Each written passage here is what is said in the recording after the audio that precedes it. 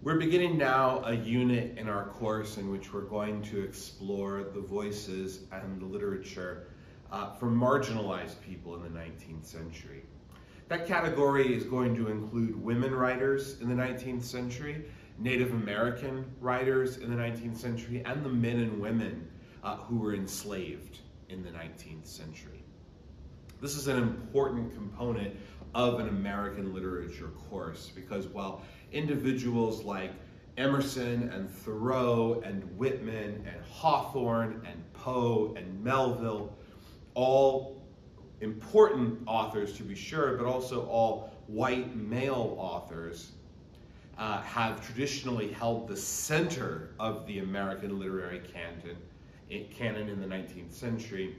Uh, they are surrounded uh, by a context of a variety of writers who are engaged in important contributions to American literature. In fact, uh, it's somewhat ironic uh, if you look at who was actually being read in the 19th century versus who is studied today as emblematic of American literature in the 19th century. Often it's popular writers, uh, such as Lydia Child, who are among the most popular uh, individuals uh, writing in the 19th century. Uh, and yet, you know, someone like Herman Melville, who struggles to sell uh, copies of Moby Dick, goes down in history as the great American author, uh, the author of the great American novel of the 19th century.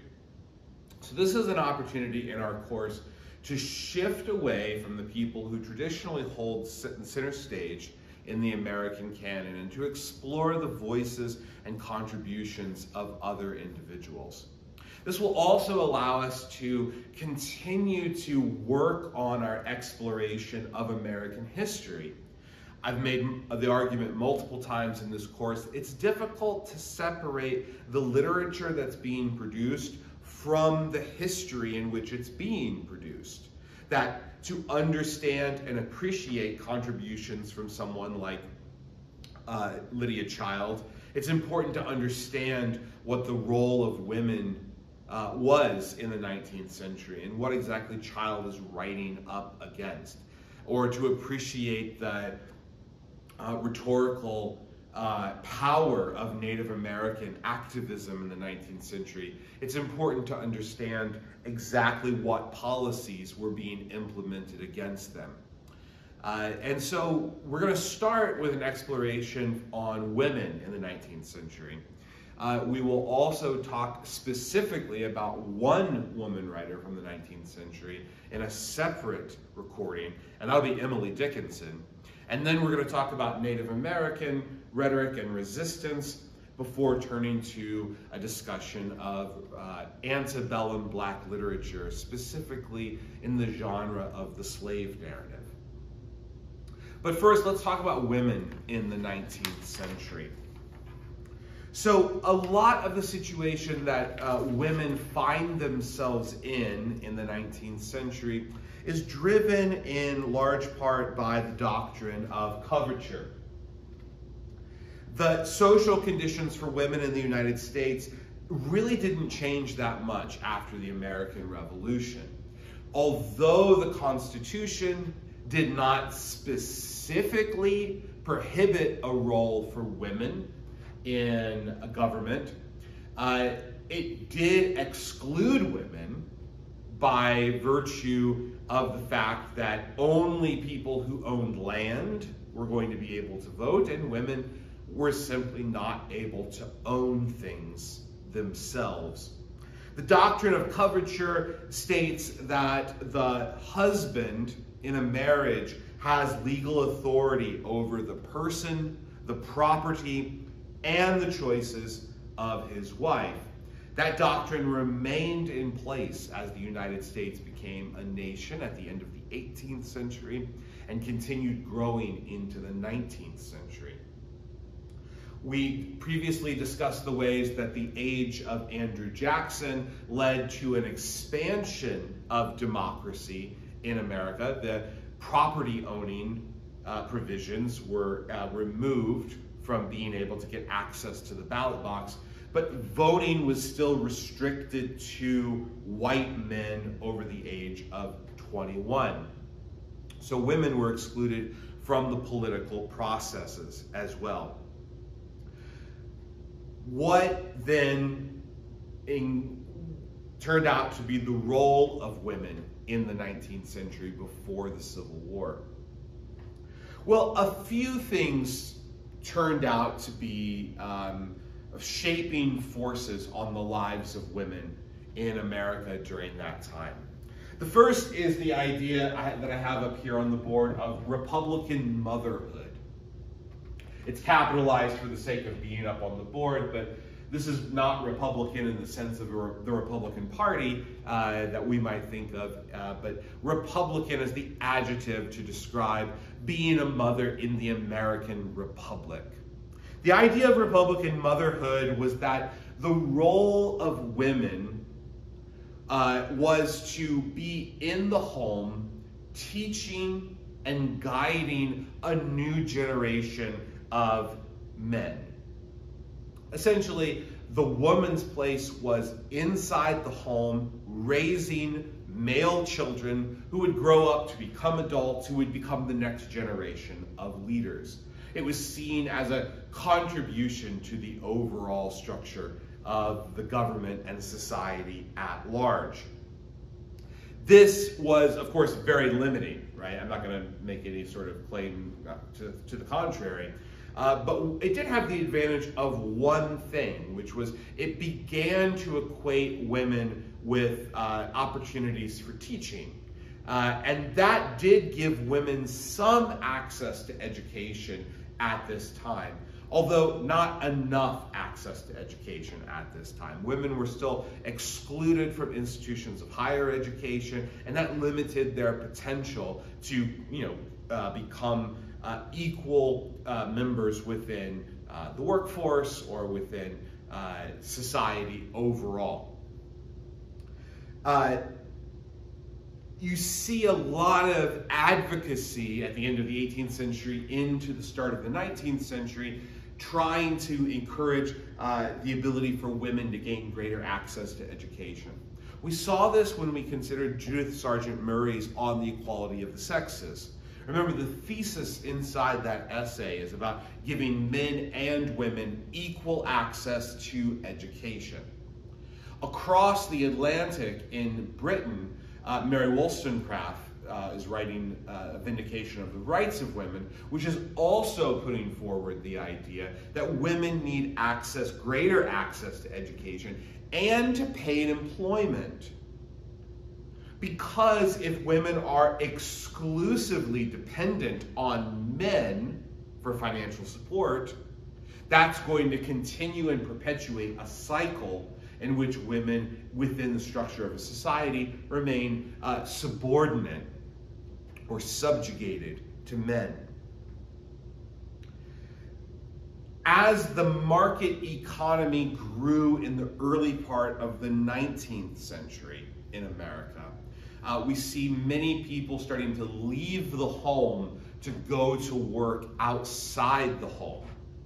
This, at first, provides an opportunity uh, for some women, mostly lower class or lower middle class women, to leave the home and be able to get employment.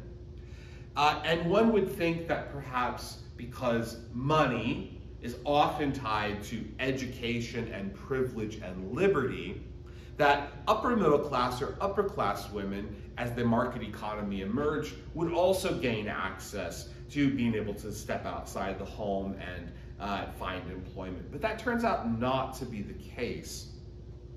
What arises during this time has been termed by historians as the cult of domesticity. This is the idea that, um, that you're probably familiar with in, in some shape or form of the man leaving the home to go to a place of employment to earn money to support the family, and woman as mother and homemaker, uh, somebody who stays behind.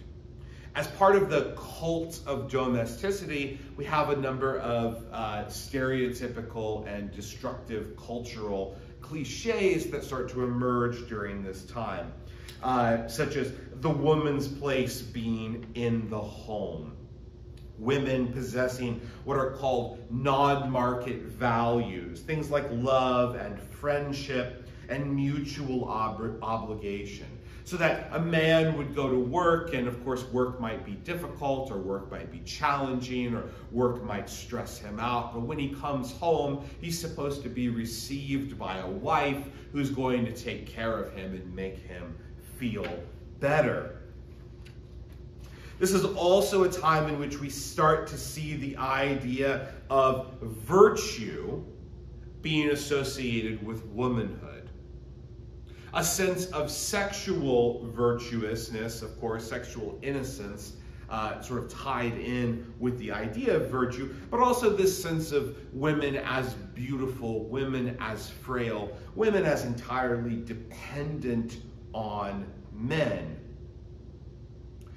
During this time, as American culture began to embrace more and more freedom, uh, the definition of where freedom came from began to be uh, associated more with what were seen as inborn qualities. So men were seen as aggressive, men were seen as domineering, men were able to be seen as able to sustain and defend uh, freedom, whereas women became more associated with the freedom to practice nurture, the freedom to practice selflessness, a domestic role emerging during this time.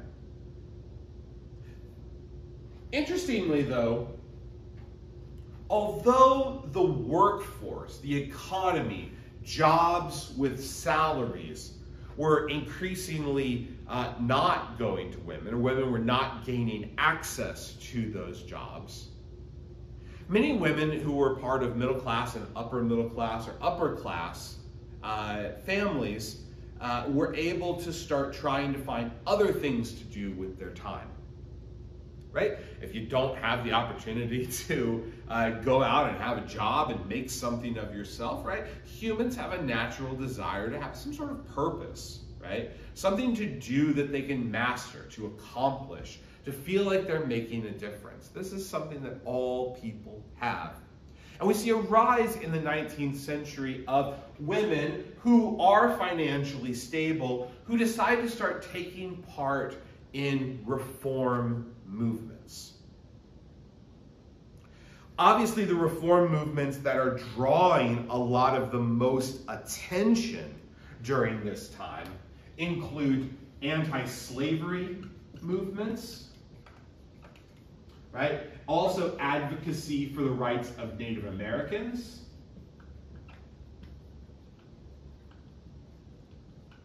And the temperance movement, or an anti alcohol movement. It's important to understand that the role of women in reform movements sort of, on the one hand, mirrors and reflects back uh, the inverse of what's going on with men. So at this time, of course, the realm of government and the realm of politics, the realm of, of running the state and being in control of the state is seen as the uh, responsibility and the opportunity for men. There's this idea that politics is too rough for women, that uh, that government is too brutal and too too much moral compromises are necessary in order to effectively govern right? And that sort of stereotype and that um, misogynistic and sexist perspective shuts women out of the government and, and the governing processes and the realm of politics. But reform movements open themselves up and women not necessarily taking a role as elected officers of the government are nevertheless taking on responsibilities that are starting to shape the appearance of the culture and the policy that's debated and discussed within the culture. Women's letters and diaries during this time uh, reveal that they have a keen interest in political issues, even though they did not have the right to vote. Uh, they were organizing, they were circulating petitions, they were lobbying political bodies like state legislatures and activist groups. They were attending mass meetings, they were participating in parades, they were delivering public lectures, and they were raising money for political causes.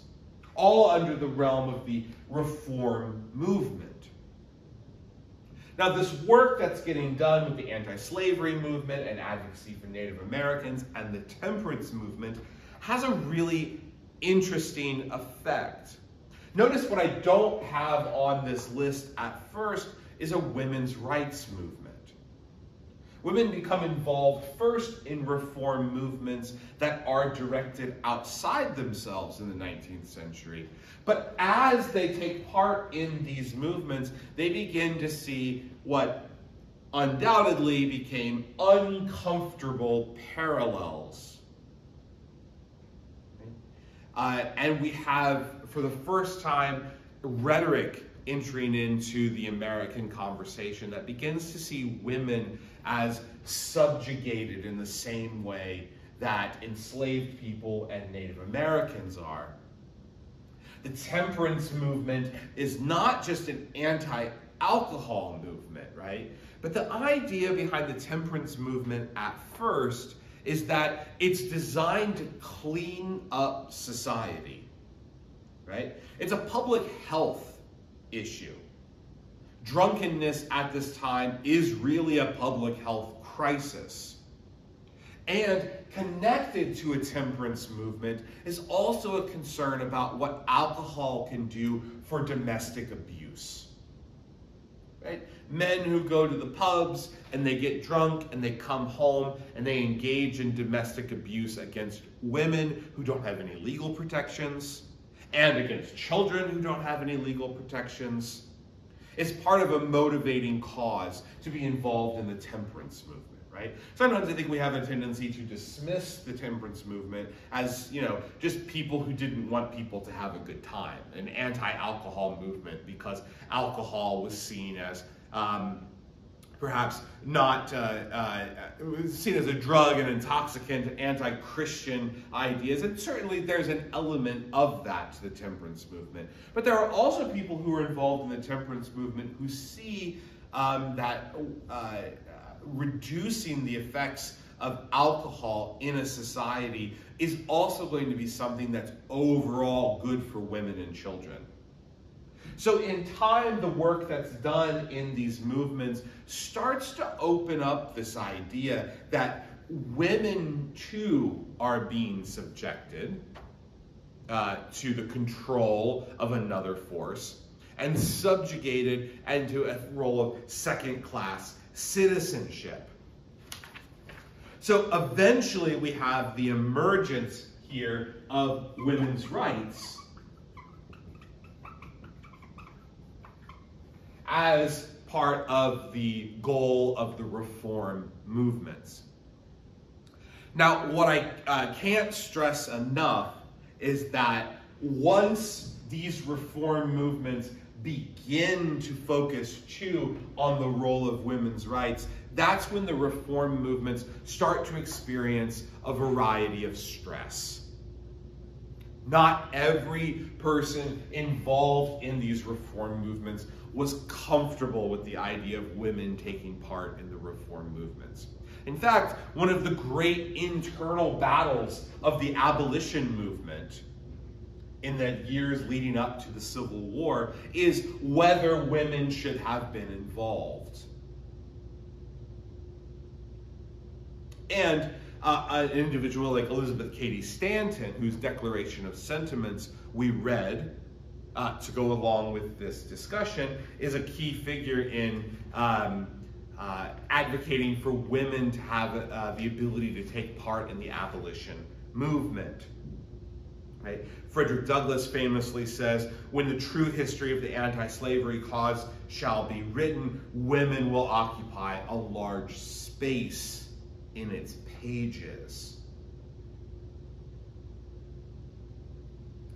It should also be known uh, or recognized, at least as part of this introduction to our discussion, that it is not just men who are uncomfortable with women playing a large role in reform movements, but it's also women who are uncomfortable with some women playing a role in reform movements. Some uh, women saw it as unbecoming of women to be active and protesting and raising money and politicking and all of these sorts of things. And that leads to tensions as well. Uh, I had asked you to look at some texts from important female figures uh, in the early 19th century for American literature. And I want to run through uh, the first two together, and then we're going to turn to the Declaration of Sentiments from Elizabeth Cady Stanton and talk a little bit about the Seneca Falls Convention of 1848, which is a pivotal moment in American history, and particularly the history of women's rights in America. So I ask you to take a look at uh, a prose writer and a poet. We'll start with the poet. Uh, Lydia Howard Huntley Sigourney uh, as the poet who I ask you to take a look at. Uh, she's born in 1791, so in terms of our course, she's the uh, person born closest to the start of America, you know, post-Constitution, uh, 1789. She is the most popular woman poet of the early national and the antebellum period. Uh, she uh, writes many other things as well, not just poetry, but her poetry is part of really what makes her famous. She has a strong anti-slavery approach to her politics, as you no doubt saw in the poetry, uh, the poems that I assigned for you. She said that she wrote out of a, quote, womanly duty with the hope of, quote, becoming an instrument of good. And there is a lot of that during the time, that sense that, that if you can speak, if you have the privilege to speak, you have the obligation to speak. The obligation to make your voice heard so that people can hear and perhaps grow and change. I ask you to, to take a look at four poems from Sigourney uh, to the first slave ship, Indian names, slavery, and fallen forests. And I think you can get a sense from uh, these four poems of uh, what were the concerns, the political concerns that Sigourney had, right? She's obviously involved in the anti-slavery movement.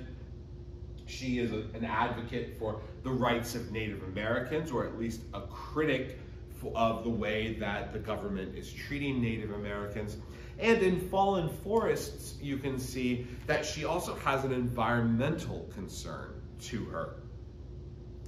Uh, the poems are traditional in their structure and their form, right? Uh, they're metered. They have uh, um, three of the um, uh, four poems that I ask you to read have rhyme.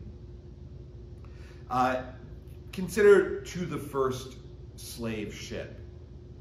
This uh, presents itself as an ode, right? A poem addressed to something, usually uh, not a person, uh, but an ode to an object, right? And sometimes it has the idea of uh, vaunting up the object, uh, making it sort of greater than life. But Sigourney uses this idea and she uses it to criticize or to uh, reflect on the first uh, slave ship arriving in America, not knowing the horror and the nightmare that it is about to unleash on American culture. First of that train which cursed the wave, and from the rifled cabin bore inheritor of woe, the slave, to bless his palm tree's shade no more.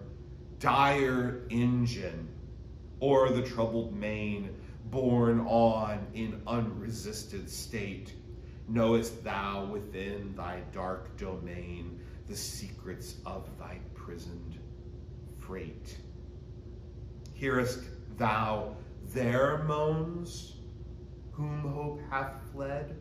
Wild cries and agonizing starts. Knowest thou thy humid sails are spread with ceaseless sighs from broken hearts? The fettered chieftain's burning tear, the parted lover's mute despair, the childless mother's pang severe, the orphan's misery are there.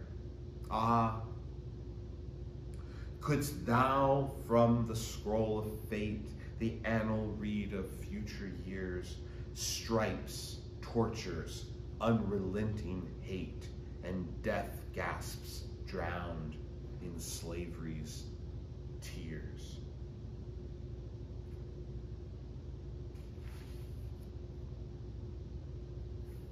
The poem ends in a complicated way, I think.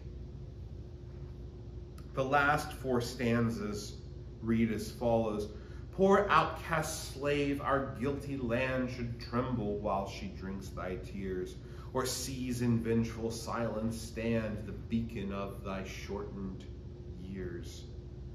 Should shrink to hear her sons proclaim the sacred truth that heaven is just, shrink even at her judge's name, Jehovah, Savior of the oppressed. The sun upon thy forehead frowned, but man more cruel far than he. Dark fetters of thy spirit bound, look to the mansions of the free. Look to that realm where chains unbind, where the pale tyrant drops his rod, and where the patient sufferers find a friend, a father in their God. There is a sense at the end of the poem or an implication that the only possibility of release, the only possibility of freedom that is going to exist for enslaved individuals at the time that the poem is produced in the late 1820s is death. Now, one could look at that and, and say that perhaps that's a, a, a very narrow imagination, right? Uh, there are certainly people at this time who are petitioning and engaged in abolitionist causes, uh, though it hasn't heated up to the degree that it's going to in the years that are going to immediately precede the Civil War. Um, and so, is this a lack of imagination on Sigourney's part, or is this, in fact, perhaps a sort of brutal realism or pragmatism? That at this time, slavery seemed so entrenched in American culture that there, there felt, it felt like there was no way out uh, for the pain and the suffering and the agony um, except death. But then again, if that's the case, then the poem itself loses sort of its political ambitions too, because it should be the essence of this poem to imagine a world in which slavery can be done away with. The, the guilty land can be made pure um, through the abolition of the institution, as opposed to the land itself simply soaking in the tears of the people who are being subjugated and in pain. The poem Indian Names is uh, a clever and, and, heartbreaking poem, I think, um, in which uh, Sigourney wonders, you know, how is it possible that we seem to forget um, everything associated with the Native Americans when the names that they used are all over the place, right? From state names to river names to lake names to city names to um, uh, uh, mountain names. Uh, so much of the language is drawn from the Native American language, and everything around is, is named for them, and yet they themselves are being pushed off of the land that uh, the names remain on. Is a uh, uh, sad plight that Sigourney is bringing to the surface and pointing out this sort of cruel irony and cruel hypocrisy. Um, you know, there used to be a joke that what the suburbs are the places where they tear down all the trees and then they name the streets after the trees. You know, Oak Street, Maple Street, you know, so on and so forth. And that is kind of uh, part of what, what Sigourney is after in a poem like Indian Names. Ye say they have all, they all have passed away, that noble race and brave, that their light canoes have vanished from off the crested wave, that mid the forest where they roamed there rings no hunter shout, but their name is on your waters. Ye may not wash it out. So, oh, they're not here anymore. They're you know they're going elsewhere. Um, but we can't hide in Sigourney's poetic imagination here. We can't hide from the sin that has occurred, the crime that has been committed. Uh, Fallen Forests is a poem uh, that is uh, in blank verse, um, and it is an, a very ecological poem. Um, and the, the imagery and the language that accompanies uh, the poem here is, is, is beautiful and staggering at the same time. Just look at the introduction to Fallen Forests. Man's warfare on the trees is terrible. He lifts his rude hut in the wilderness, and lo, the loftiest trunks that age on age were nurtured to nobility and bore their summer coronets so gloriously, fall with a thunder sound to rise no more. He toucheth flame unto them, and they lie a blackened wreck, their tracery and wealth of sky-fed emerald madly spent to feed an arch of brilliance for a single night, and searing thence the wild deer and the fox and the lithe squirrel from the nut-strewn home so enjoyed. He lifts his puny arm, and every echo of the axe doth hew the iron heart of centuries away. It's powerful language uh, and startling and melancholy all at the same time to me, my favorite word in the passage that I just read to you is puny. Right? He lifts his puny arm. You know, mankind lifts his puny arm to cut down the tree, but every echo of the axe is felt centuries away. Beautiful, glorious, and, and sad image.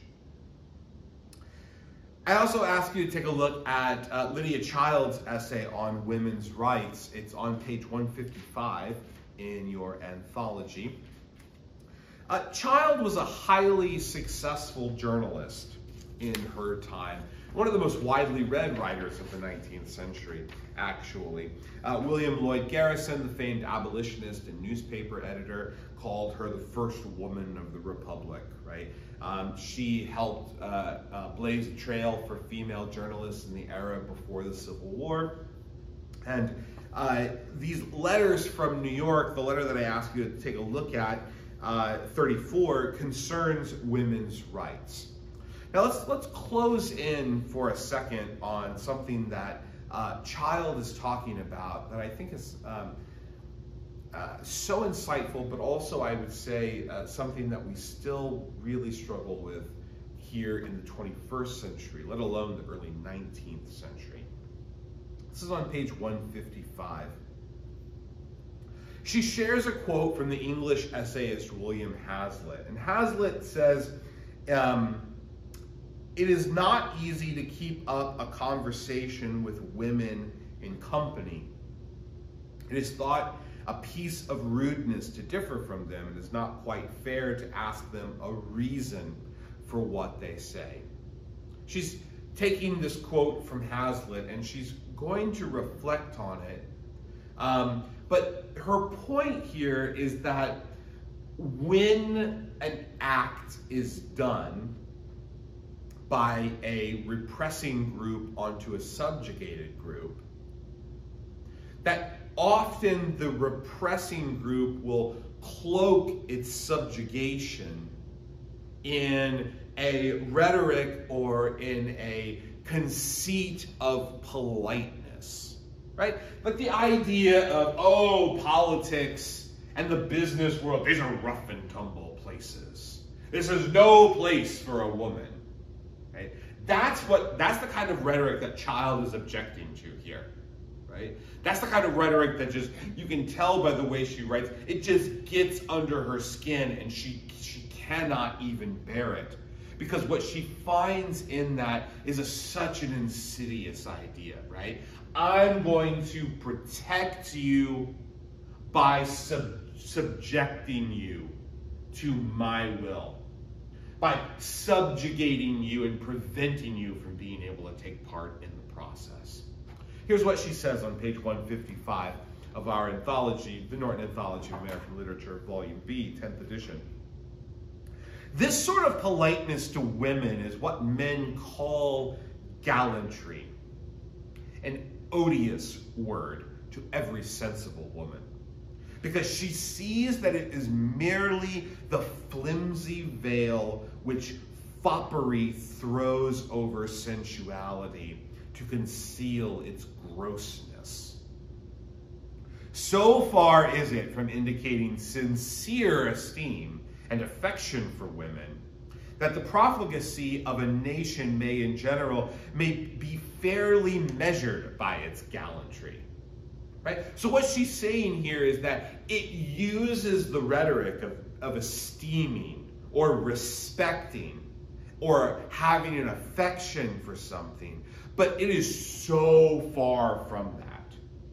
It's infantilizing, it's demoralizing, it's robbing people of agency and independence, right?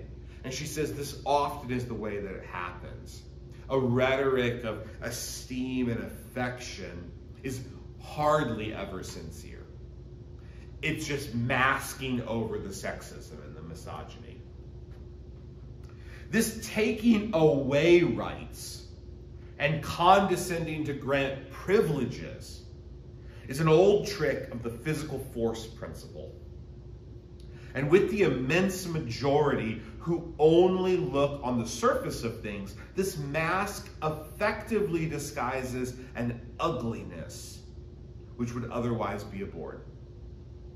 The most inveterate slaveholders are probably those who take most pride in dressing their household servants handsomely and who would be most ashamed to have the name of being unnecessarily cruel. And profligates who form the lowest and most sensual estimate of women are the very ones to treat them with an excess of outward deference.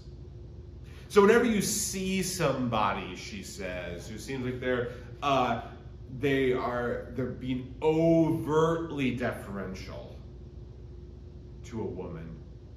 She says that's really masking the fact that they don't hold women in high esteem. But that it appears that way culturally. There are a few books which I can read through. I mean, first of all, this paragraph, uh, if there, there are still people on the internet who are talking about this paragraph in some way, shape, or form in the way that men write women in literature.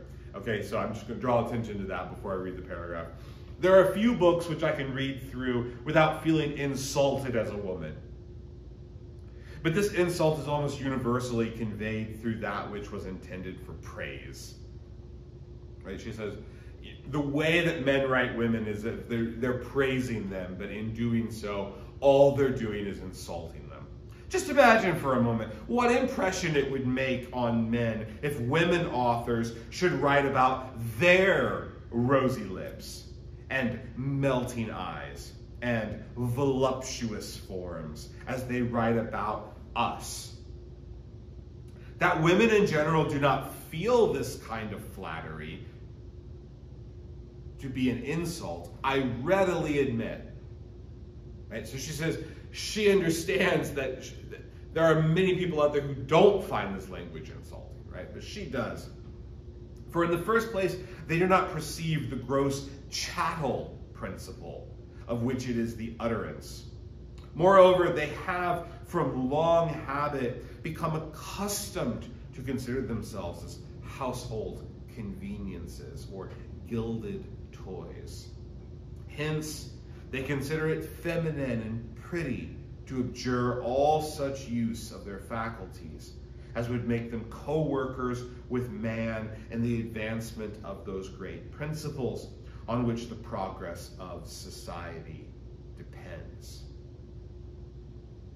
And then she quotes here Hannah More, an English evangelical writer.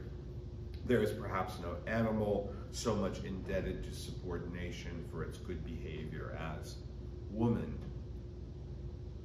So she's pointing out that there are lots of people who embrace this um, because that's what they're used to or because they think that it's um, a, a, a flattering thing, but she's trying to draw attention to the fact that what it does is it is actually making it more difficult for women to gain a foothold in society and to be considered equal participants on improving society and advancing the culture because instead the emphasis is on how they look, how pretty they are, their appearances, and not on the value of their mind and their emphasis on their ability to contribute to the overall uh, process of making the society better.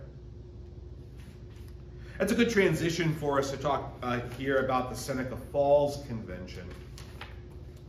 Uh, so the Seneca Falls Convention is organized by Elizabeth Cady Stanton and also uh, Lucretia Mott. They're two anti-slavery activists. They had met in London. Stanton herself was in London. Uh, she and her husband were on a honeymoon in London, uh, and they were going to attend the World Anti-Slavery Convention. Uh, but she was barred from entering the convention because she was a woman. Uh, Lucretia Mott was also in London for the convention and, of course, also barred from entering the convention. And the two of them together uh, shared this resentment on the way that the abolition movement was treating women. They came home and in upstate New York, in Seneca Falls, in 1848, they hosted the Seneca Falls Convention, where abolitionists and preachers and transcendental writers, uh, Quaker activists, those who participated in the Underground Railroad, so on and so forth, came together to discuss uh, a series of re uh, resolutions on the rights of women. The primary text at the Seneca Falls Convention was called the Declaration of Sentiments. Uh, and the Declaration of Sentiments is, uh, as you no doubt know from reading it, modeled on the Declaration of Independence. You can hear it in the name, right? Declaration of Sentiments, Declaration of Independence. This is on page six, 672 of your anthology. Stanton does something really brilliant. She takes the Declaration of Independence and she twists what it's trying to do and removes from Declaration of Independence the he, meaning King George III, uh, and the stand-in for the British government more generally. And she makes the he of the Declaration of Independence men. She situates women in the position of the colonists who are writing the Declaration of Independence. And she uses the same structure and same rhetorical approach that Jefferson uses to highlight the fact that women are being uh, as subjected or more so in many ways, than the way that the British government was subjecting the American colonists. There are numerous passages in the document that literally just lift wholesale paragraphs from Jefferson with just minor tweaks, right? Consider the opening paragraph.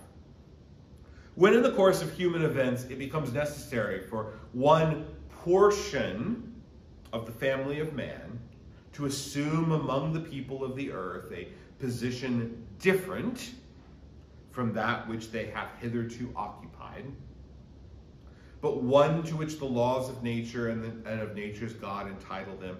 A decent respect to the opinions of mankind requires that they should declare the causes that impel them to such a course. That's very similar to the opening paragraph to the Declaration of Independence. But the next paragraph is literally lifting the passage from Jefferson with one important change. We hold these truths to be self evident that all men and women are created equal. And then the paragraph continues, right? Uh, that they are going to uh, insist upon the institution of government, laying its foundation on these principles and developing them. Now, when she gets into the enumeration of abuses that Jefferson used in the Declaration of Independence to lay the groundwork for why revolution uh, uh, and a breaking free of Britain is justified, again, she uses that structure of the he driven paragraphs, right? He has done this, he has done this, he has done this, except now the he is in reference to men in general, right? She says, the history of mankind is a history of repeated injuries and usurpations on the part of man toward woman, having in direct object the establishment of an absolute tyranny over her, right? This language is very similar to the Declaration of Independence. To prove this, let facts be submitted to a candid world. He has never permitted her to exercise her inalienable right to the elective franchise.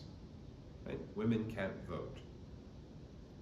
He has compelled her to submit to laws in the formation of which she had no voice.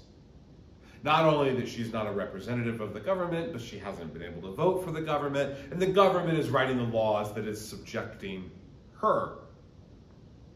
He has withheld from her rights which are given to the most ignorant and degraded men,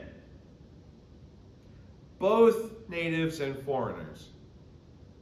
This sentence is a reminder that one of the driving forces of the women's rights movement during this time although they're anti-slavery and they're advocating in favor of Native Americans, there's a bit of a nativist uh, bend to the rhetoric, right? That men who would not be esteemed as worthy of other men are nevertheless getting more rights than wealthy white women are able to have. And so there's a little bit of uh, discomfort in recognizing that. It's part of the language and part of the work, and, and it's also going to be part of, I think, the, the shadow that gets cast over the women's movement following the Civil War. There are some um, racist rhetoric around uh, the 15th Amendment, which gives black men the right to vote, uh, and women uh, activists will say um, that they are appalled at that before white women are given the ability to vote. It's a reality of the movement at this time, and it's also a reality, I think, you know, reflect in our own contemporary culture. A lot of politics around uh, identity and the advancing of groups are often seen as zero-sum politics, right? That it's it's either uh, I get the benefit that I'm after, or I lose it at, at, for the expense of somebody else. Um, and I think that's not the way that it needs to be. It's not the way that it has to be either. but it is the way that often politics goes. That the advancement of one group often means another group is not able to achieve the same advancement at the same time. In the context, I pointed out the example of the 1964 Civil Rights Act, which was written to uh, allow an enforcement mechanism that was going to prevent segregation on a national level and give people access uh, to civil rights. And uh, one congressman trying to derail the Civil Rights Act because he didn't want to see uh, civil rights extended on the basis of race, he added in language that was going to protect women because the idea was that no man in Congress, even the most progressive when it came to race issues, was going to be willing to stomach the idea of granting equality and civil rights to women. So the nation, the movement through the culture, of the nation itself trying to grow and expanding rights and privileges and protections to uh, different classes of individuals is often a history of uh, trying to be the group that gets the advantage first because there's a fear that if you're not that group, then you're going to lose out. And it's not an unfounded concern, right? I mean, the women's rights movement struggles after the Civil War to make any kind of uh, headway because there's, an, there's a feeling, a general pervasive feeling among many in America that the Civil War had ushered in a new era of civil rights for black men as part of the Reconstruction Amendments. Uh, that happened after the Civil War, and that the United States had experienced a lot of change already and the women's rights movement struggles to gain a foothold in the second half of the 19th century as a result of that. And it's not until the early part of the 20th century, 1920 actually, that uh, the right to vote is enshrined in the Constitution for women. So this is a complicated reality that we have to uh, explore and consider um, when, we, when we see language like that in place uh, and think about the ways in which progressive documents uh, can also have, uh, you know, regressive or darker elements to them um, in the pursuit of an overall public good, right? I think a lot of us would say the good is possible for everybody. That advancing the rights of one group doesn't necessarily mean we have to ignore the rights of another group. Um, but the reality in politics is often it doesn't work that way. And that's something that we need to ask ourselves, is it, is it ever going to be possible for us to change that? I think we can, but we'll have to ask ourselves whether it's realistic. Having deprived her of this first right of a citizen, the elective franchise, thereby leaving her without representation in the halls of legislation, he has oppressed her on all sides. He has made her, if married in the eye of the law, civilly dead. Powerful language. He has taken from her all right and property. He deprives her of her liberty. He administers chastisement. He taxes her to support a government which recognizes her only when her property can be made profitable to it. He's monopolized nearly every profitable employment. And when she is allowed employment, Stanton says here, she receives but scanty remuneration. As a teacher of theology, medicine, or law, she is not known. He has denied her the facilities of obtaining a thorough education, all colleges being closed to her. He allows her in church, but a subordinate position. He has usurped the prerogative of Jehovah himself, claiming it as his right to assign her a sphere of action when that belongs to her conscience and to her God. He has endeavored in every way that he could to destroy her confidence in her own powers, to lessen her self respect, and to make her willing to lead a dependent and abject life. Now, importantly, the provision of this acknowledges how progressive it is for its time. but they make a series of resolutions, right? Uh, and that's the second part of this document. These are the resolutions that the convention voted on. That such laws as conflict in any way with the true and substantial happiness of women are contrary to the great precept of nature and of no validity. Okay? There's a resolution, and the convention votes, and it's unanimous in favor of this resolution. Another resolution that woman is man's equal was intended to be so by the Creator and the highest good of the race demands that she should be recognized as such, right? That's a resolution presented to the convention, passes unanimously. Another one. In so much as man, while claiming for himself intellectual superiority, does accord to women moral superiority, it is preeminently his duty to encourage her to speak and teach, as she has an opportunity in all religious assemblies. Again, presented to the convention, passes unanimously. 10 out of the 11 resolutions pass unanimously. But the one resolution that does not pass unanimously, it passes, but it doesn't pass unanimously, is the resolution calling for women to have the right to vote. And there's contention within the convention that if they pass a statement like that as part of this document, people are going to dismiss it as radical. They're going to dismiss it as unrealistic and, and, and outside uh, pragmatism. It passes, but it doesn't pass unanimously. Which I think goes to show that even among a group of abolitionists, even among a group of activists and volunteers on the Underground Railroad and Unitarian ministers and transcendental writers and women in attendance, uh, you know, uh, uh, advocates and and uh, uh, reformers in attendance, even among the people who progress them or who present themselves as the most progressive of their time, there's still a difficulty to imagine a world in which women are going to be able to have the right to vote. It's an important consideration for us to think about. And Mott's declaration of, I'm sorry, Stanton's declaration of sentiments is a powerful repurposing of Jefferson's rhetoric in the Declaration of Independence to try to prove the point about how women are marginalized and subjugated by men in the same way that the colonists were marginalized and subjugated by Britain.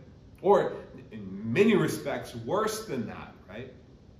Because at least the colonists had some sort of legal protections, even if they didn't have exactly what they wanted as part of those protections.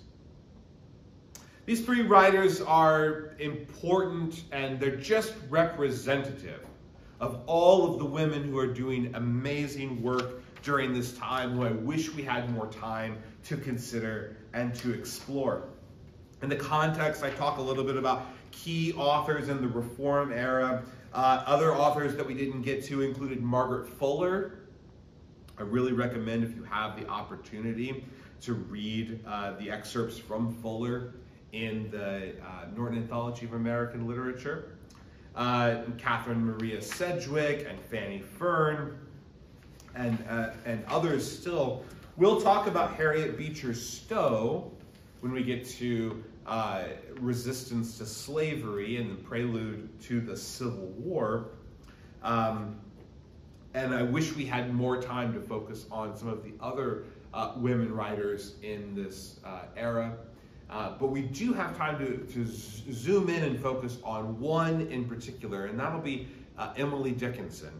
Uh, and so in the next lecture, we're going to talk about Dickinson's poems and her influence on American poetry, which in many respects is equal to or perhaps even uh, greater than the uh, poetic influence made by Walt Whitman.